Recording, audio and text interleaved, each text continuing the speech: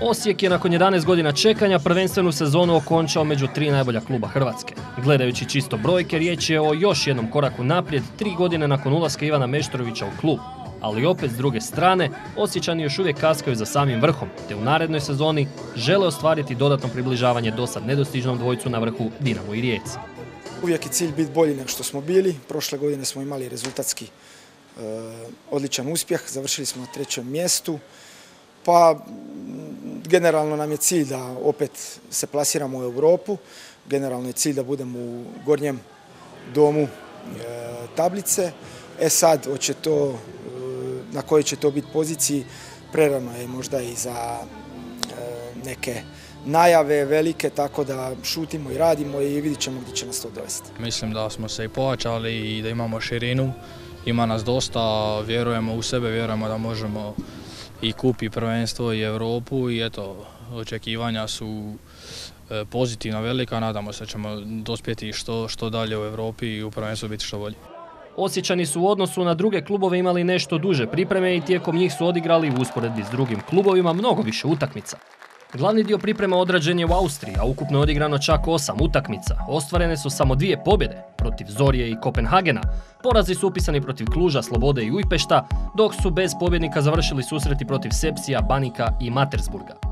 Mogu reći da sam prilično zadovoljan. E, tamo smo odigrali e, dosta utakmica i za prvu grupu igrača i za drugu grupu igrača, tako da mislim da smo ovaj, kroz e, dva tjedna Austrije napunili i energetski i, i, taktički koliko god smo mogli naše igrače.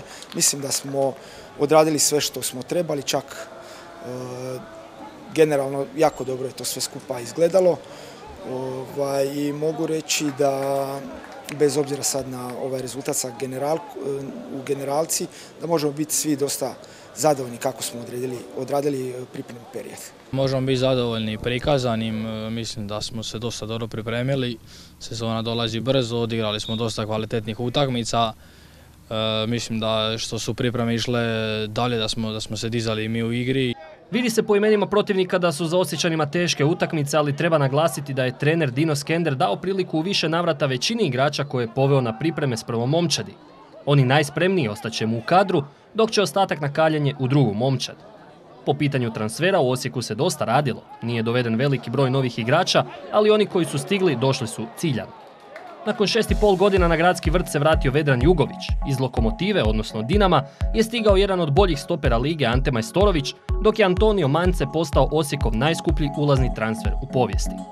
Klub su napustila zvučna imena, ali riječ je o igračima od kojih se očekivalo više ili su nakon ozljeda imali poteškoća sa hvatanjem stare forme. U Osijeku više ne stanuju napadači Gabriel Boban, Muzafere Jupi i Ezekiel Henti, također u Osijeku više nema Erika Janže, Krista Labazaja, Krševana Santinija, Marijana Antolovića i Hrva Pluma. Vidjet ćemo u ovom narednom periodu hoće tu još biti kakvih promjena.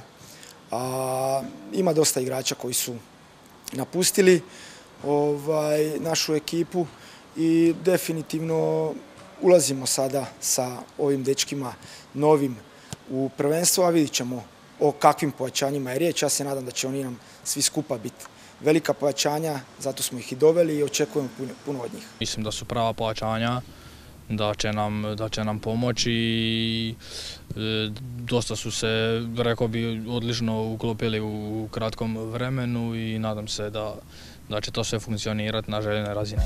Ovako bi za početak sezone trebalo izgledati 11 najboljih u osječkom dresu. Malenica na golu, Bočka i Šorša na bekovskim pozicijama, a Majstorović i Škorić u sredini obrane.